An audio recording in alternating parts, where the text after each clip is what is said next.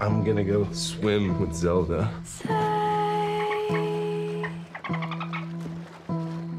How you feel become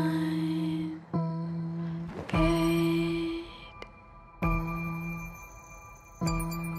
Gogol Tech's newest endeavor is a chip implanted into couples' brains to merge their thoughts. Hazel and I are users one. Our minds will be one. Technology has improved the way we live.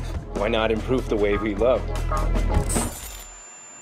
Together, we will become a singular living God. I want it out, and I want a divorce. What happened in there? It's a lot to explain.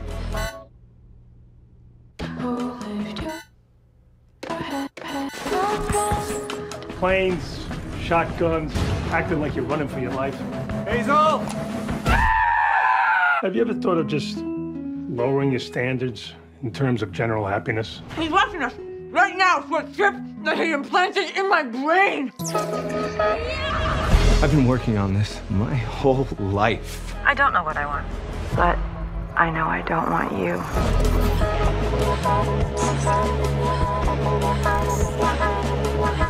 You can't merge. She'll die. Or she won't die. She'll live here.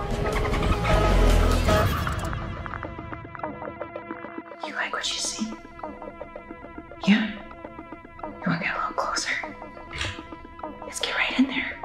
You like that, you sick. Who are you talking to? No one, no, nobody's, no one's, no one's here. I know, that's why I asked.